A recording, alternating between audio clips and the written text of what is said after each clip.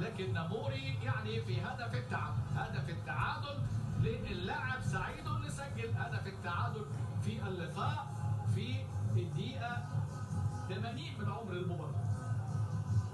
ادي أمامنا اهو اللاعب سعيدي اللي سجل. سعيدي آه، طبعا آه، رقم 10 نيتيابو زونكيزا هو اللي سجل.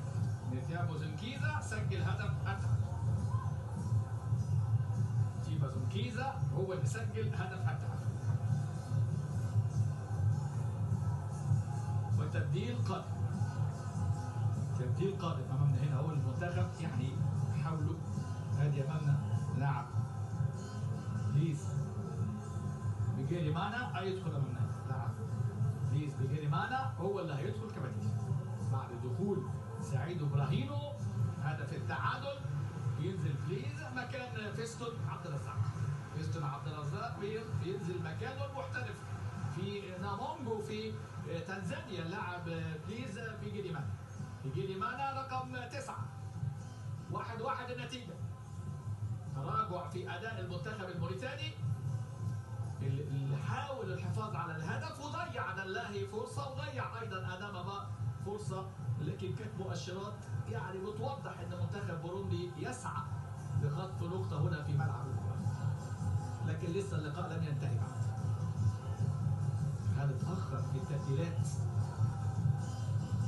المدرب مارتينز هل بالغ مارتينز يعني في ال- ال- الارتداد الدفاعي والعودة الدفاعية؟ دي امامنا هنا التبديل اللي تم في الدقيقة 81 بخروج اللاعب عبد الرزاق ودخول اللاعب بليز بيجيري مانا كرات العاليه أمامنا هنا هذه راسيه لكن على طول الدفاع يطلع. ترجع مرة ثانية المنتخب الموريتاني. المايكا يلعب الكرة خطرة جدا لكن منتخب بوروندي مرة ثانية المايكا المنتخب البوروندي يعني كان بيسعى الشوط الثاني إنه يجيب هدف. تعادل بالفعل حقق التعادل على طول استلام علي عبيد. الكره الأمامية المرة دي. هل فيها رايه وتسلل فيها وتسلل فيها رايه وتسلل على الحسن. رايه وتسلل حسن العيد تسلل. واحد واحد النتيجة. مكاري ديداي في الدقيقة 30 ثم سجل سعيدي نتيمة زونكيزا هدف التعادل من هدفين من كرات يعني ثابته شوف الفاول عمل من بكاري في منطقة بعيدة حائط البشري واقف غلط. ودي مسؤولية حارس المرمى. لازم يكون في لاعب زيادة في الحائط. أدي منتخب بوروندي اللي أصبح خطر جدا الشوط. منتخب بوروندي أصبح خطير الشوط الثاني والبديل بليز بيجيري المحترف في تنزانيا لكن يطلع مكان.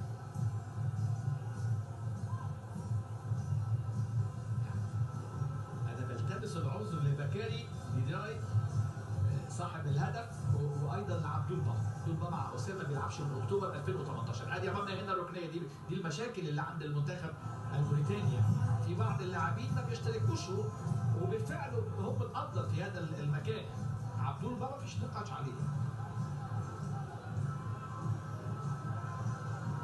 ماركو ويمنز رمي التماس منتخب بوروندي حاول إنه يحقق فوز وانتصار هنا في ملعب المباراة ولكن أمامنا كرة تطلع إلى إلى خارج الملعب. خارج الملعب. راجل تعال تعال أمامنا سعيد سعيد إبراهيم عايز ياخد ركلة ركنية. وتبديل قادم تبديل الرابع. تبديل قادم أمامنا هنا في هذه اللحظات. أعتقد امادو أمادو نياس. امادو نياس بيستعد أمامنا. امادو نياس وبيستعد أيضا. عبد الله جاي أمامنا هو. عبد الله جاي لاعب الوسطى في سلطنة عمان وكان لاعب نوازيبو السابق ولعب أيضا في لاتفيا. وأيضا هيدخل لاعب الإنتاج الحربي. لاعب اللي هيدخل أمامنا هو امادو نياس امادو نياس التبديلات اللي أمامنا هنا. جانب المنتخب الموريتاني.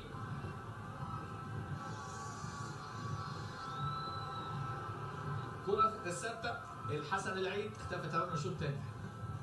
كان مصدر خطورة رغم إنه ضيع فرص كتيرة. تمريرة حلوة قوي. استلام! يضيع يضيع إسماعيل دياكيتي. اختراق من العمق وإسماعيل دياكيتي صعبة قوي يا دياكيتي. صعبة جدا تضيع. عملت توقيفة حلوة قوي. لكن الكرة اتعملت جميلة. إسماعيل دياكيتي وقف كرة حلوة قوي. لكن حارس المرمى الحارس لوكوندو اونيسيمي يطلع يطلع في توقيت رائع وركنية جديدة خمسة في اللقاء المنتخب الموريتاني طبعا يقع سنة بقى حارس روكوندو يقع سنة في اللقطه لكن فرصة لإسماعيل دياكيتي كان ممكن قوي يخلص بيها اللقاء ويخلص الثلاث نقاط اللي بنرغب فيهم في مباراتهم لكن ملعوبة حلوة قوي شوف دياكيتي شوف العمق الدفاعي مش موجود هنا. دياكيتي مع اداما با يعني مطلوب منهم التواجد في هذه اللحظات. طبعا يعني فرصة كبيرة قوي بتضيع من إسماعيل دياكيتي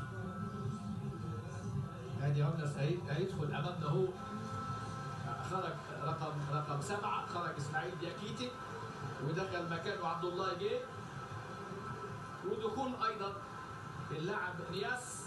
شوف امامنا نياس دخل مكان مين نياس؟ نياس دخل مكان الحسن. العيد خرج الحسن العيد معار لوجو أمامنا هو وخرج أيضا صاحب الفرصة يعني الضائعة في الشوط الثاني منذ لحظات إسماعيل دياكيتي.